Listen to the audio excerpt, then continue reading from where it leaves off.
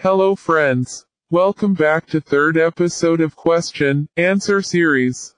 For today the first question is here on your screen. Name the largest island that makes up the country of Japan. I repeat. Name the largest island that makes up the country of Japan. Here's the second question for today. What is the full form of I, T, L, O, S? I repeat. What is the full form of I, T, L, O, S? Now let's move to the third question. Who was the second President of America? I repeat. Who was the second President of America?